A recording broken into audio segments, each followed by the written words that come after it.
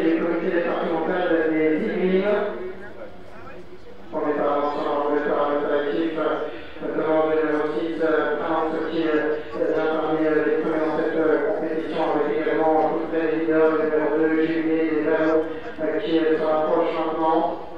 Alors que le numéro 9 le cours, mais il y a des concurrents de tête.